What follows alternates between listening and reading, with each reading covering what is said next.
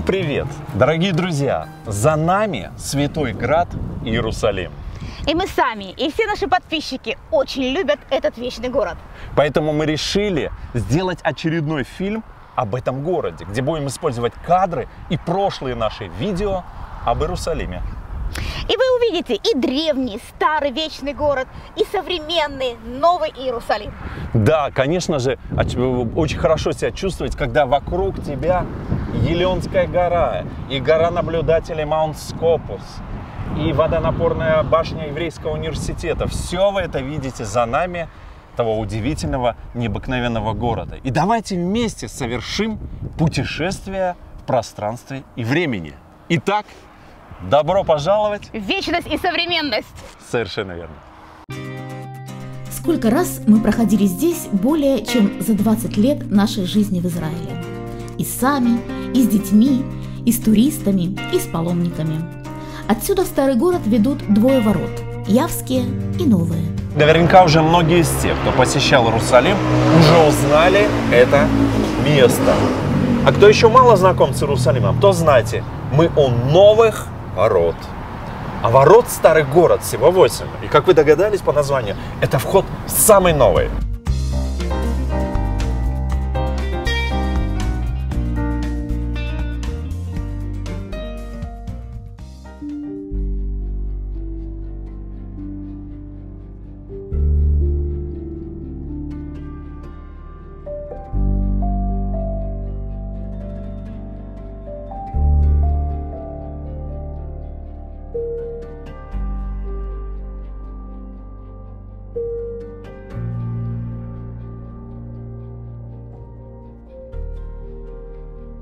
За этой дверью уютный жилой дворик.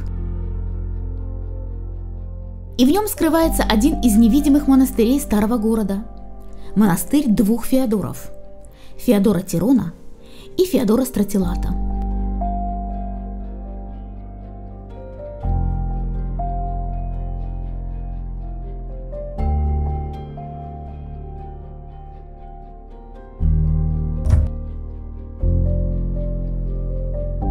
Недалеко от этой улицы тоже спрятался в уютном дворике монастырь Николая Чудотворца.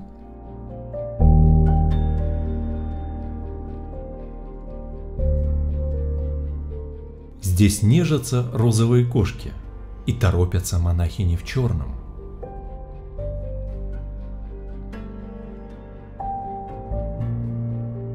Здесь под ногами есть участки с камнями мостовой города второго века.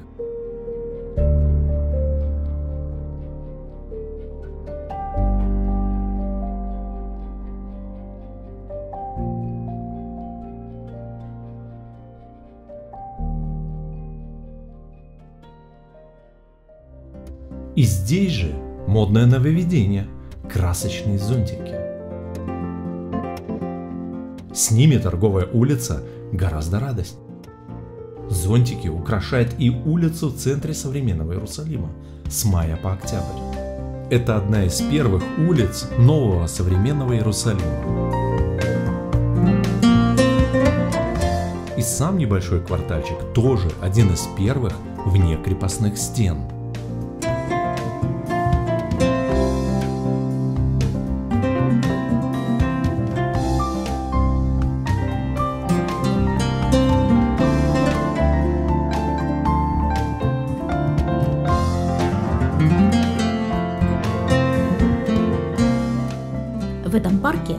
так отлично отдыхается и так здорово дышится. Но это место бывшего мусульманского кладбища. Здесь есть и древние пещеры, и огромный водосборник. Здесь все рядом.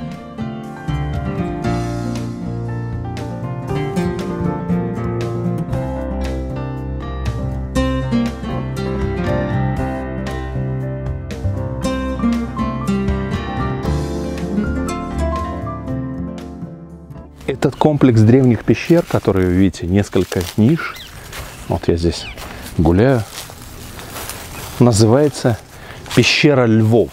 И в иерусалимской традиции с этой пещерой связано несколько преданий, причем город у нас трех религий. И для каждого из своего вероисповедания есть свое предание. Какую бы историю ни рассказывала та или иная традиция, все они связаны со львом и его помощью умершим и погребенным. Я иду по дну древнего пруда, известного под именем Мамила. Оцените его колоссальные размеры. Это очень древнее водохранилище или бассейн, пруд, как его еще называют. Известно, что этот пруд достаточно эффективно функционировал вплоть до заката правления британцев в Палестине. Годы британского мандата в 1947 году в рамках реконструкции бассейна городские власти Иерусалима попытались подключить пруд Мамила к системе водоснабжения города.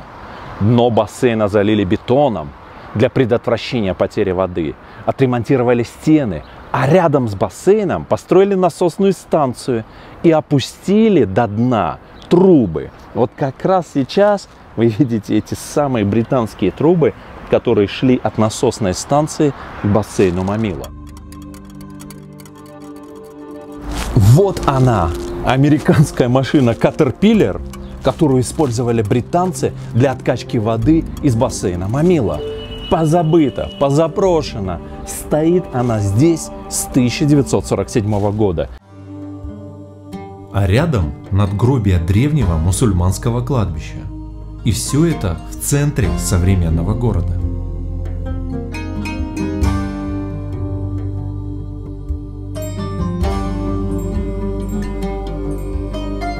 Это самое старое сохранившихся и самое большое захоронение кладбища. Его относят к 1289 году. Это мавзолей Турбат Эль-Кубакия. Турбат в переводе, собственно, и есть мавзолей. Кубакия по имени Алладдина Айдуди ибн Абдаллаха Аль-Кубаки, эмира города Цфата. Многие знатные мусульмане хотели быть похороненными именно здесь, и кладбище очень сильно разрослось. До сих пор остались довольно-таки большое количество надгробий этого периода.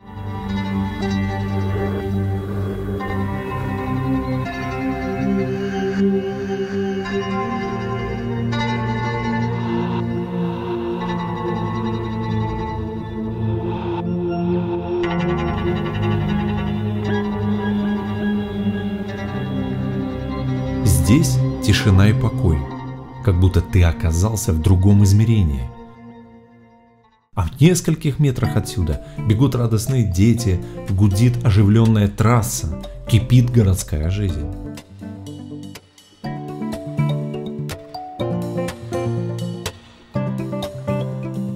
И новейший торговый променад с древним названием Мамила манит посетителей. К вашим услугам десятки магазинов, кафе и рестораны.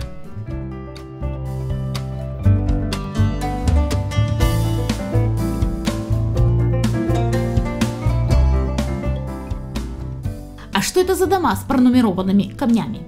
Да их просто перед стройкой пронумеровали, разобрали, сохранили, а в нужное время снова собрали, просто немного поменяв местоположение.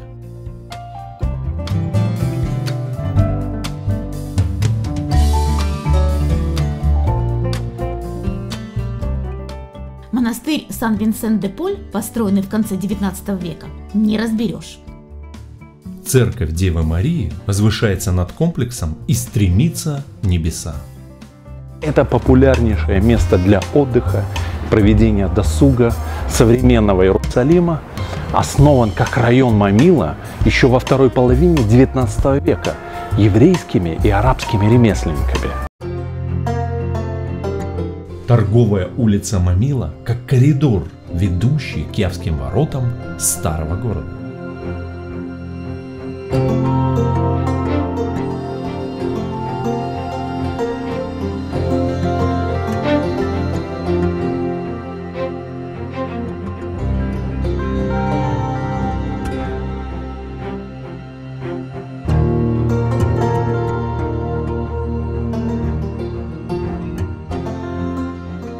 Это широко известные ворота, место встречи гидов и экскурсантов. И именно отсюда начинается большинство экскурсий по старому городу Иерусалима. Эти ворота имеют не одно название. От них расходятся две дороги к порту Яфа и в сторону Вифлеема и Хеврона. Арабы называют Хеврон Аль-Халиль, то есть город друга Бога. Под другом Бога подразумевается Авраам, Ибрагим в арабской традиции. Так вот, второе название этих ворот – ворота друга Бога. Явские ворота – одни из семи открытых ворот старого города Иерусалима. Ворота и стены строились в период правления турецкого султана Сулеймана Великолепного в XVI веке. Подобных надписей можно встретить немало на стенах и воротах старого города. Посмотрите на форму ворот. Такая форма замедляет темп нападения противника и имеет своеобразную нишу со входом и выходом и бойницу для обороняющихся. Подобную мы видели в крепости Немрод в Верхней Галилее. И здесь как бы существует два входа. Один, собственно говоря, с северной части и с восточной выход.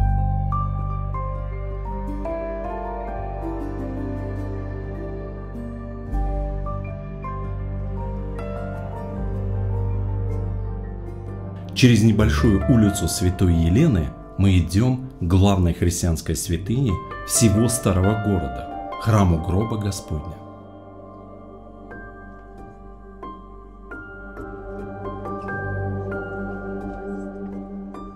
На площади перед центральным входом совсем немноголюдно.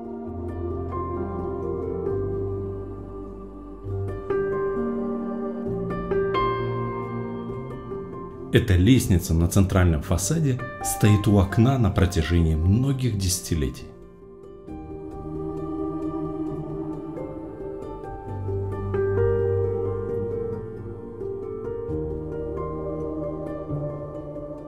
Весь основной комплекс здания сохранился со времен перестройки храма крестоносцами в 1149 году.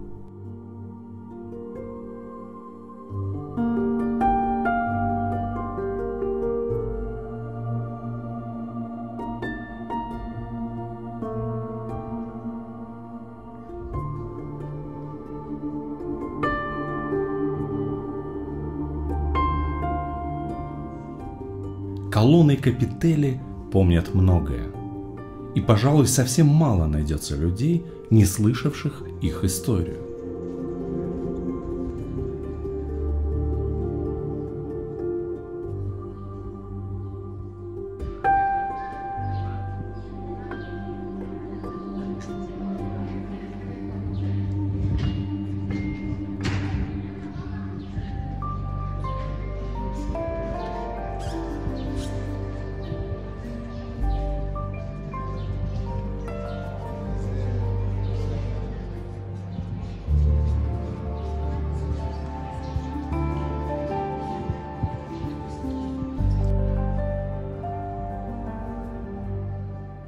Посмотрите, какие засовы. На дверях много надписей, оставленных паломниками в разное время на разных языках. С 333 года нашей эры, с небольшими перерывами во время разрушений, принесенных завоевателями, на этом месте в церковных богослужениях прославляется воскресший Христос.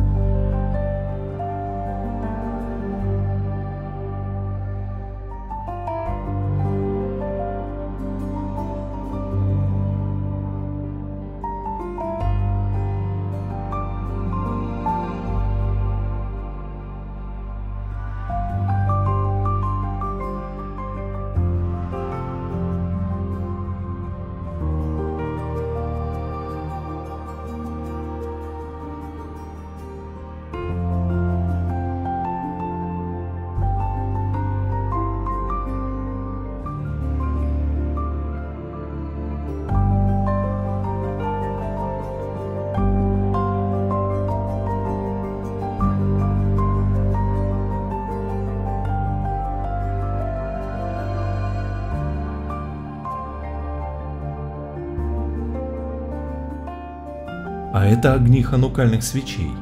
Ими наполнен вечерний Иерусалим в период праздника огней, который называется Ханука. Вот они, главные святыни Иерусалима, стена плача, храм гроба Господня и храмовая гора. Крепостные стены старого города в лучах заходящего солнца.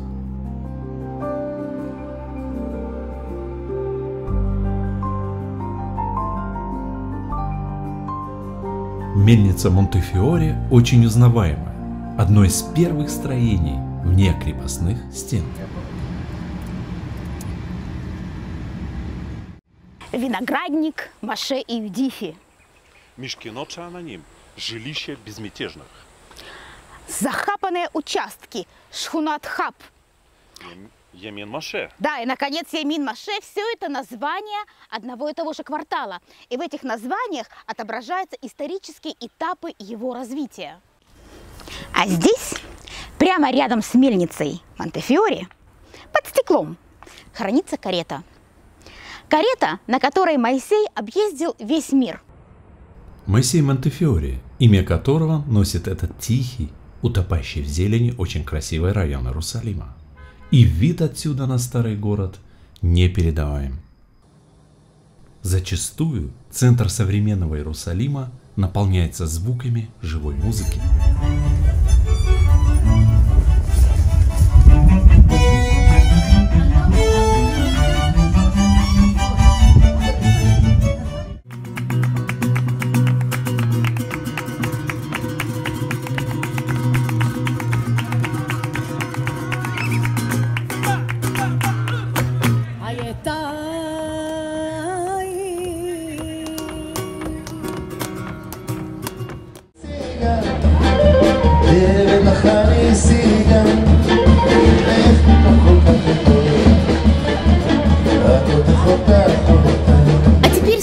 Заглянуть на городской рынок.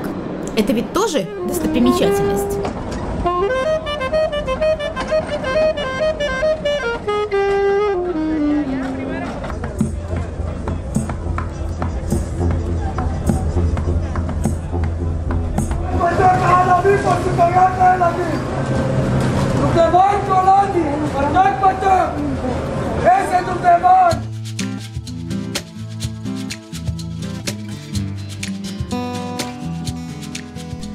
Стоит здесь что-то говорить?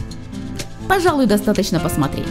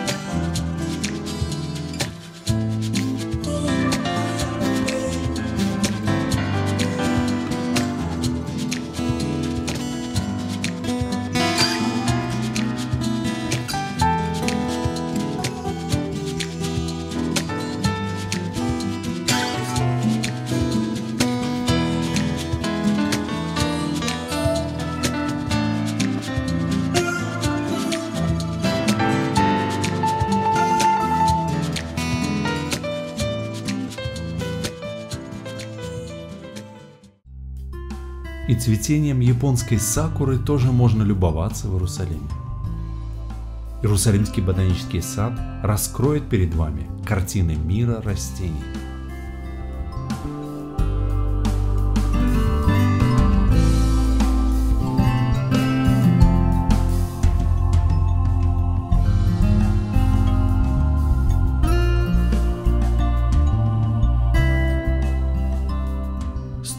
Мост или арфа Давида, знаменитого архитектора Сантьяго Калатравы на въезде в город, особенно хорош в вечернее время. Согласны?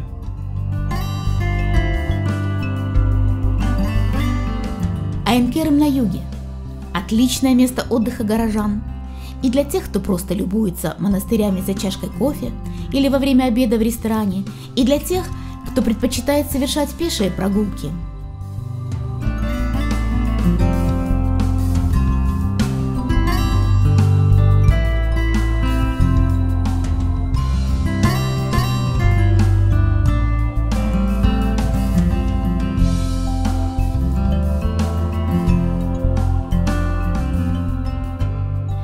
Много всего хочется показать и рассказать.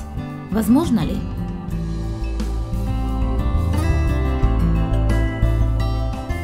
Так какой же он, Иерусалим? Наверное, у каждого свой. Ведь восприятие того, что тебя окружает, абсолютно разное по многим причинам. Иерусалим – это город трех религий. Как бы это банально не звучало и не было заэксплуатировано вдоль и поперек туристическими компаниями, но это так – город трех религий. Иудеи, христиане, мусульмане столетиями живут в этом городе бок о бок. Иерусалим – это любовь, страсть и ненависть. Иерусалим – это мозаика, калейдоскоп легенд, мифов и историй. Иерусалим – это святость. За святостью приезжают в Иерусалим. Иерусалим – это мечты и реальность, это вопросы и ответы. Невозможно описать словами, какой он, Иерусалим. Иерусалим – это жизнь. Это водоворот жизни во всех ее проявлениях.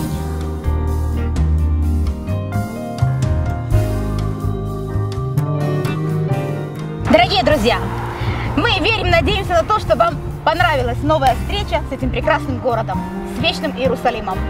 А нам пришло пора прощаться.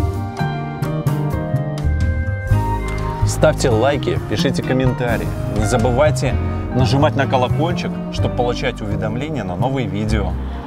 Становитесь спонсорами нашего канала. Нам очень нужна ваша помощь. Благодарим тех, кто уже это сделал. А сегодня мы прощаемся. Будьте здоровы, счастливы, благополучны. До свидания и до, И до новых новых встреч. встреч.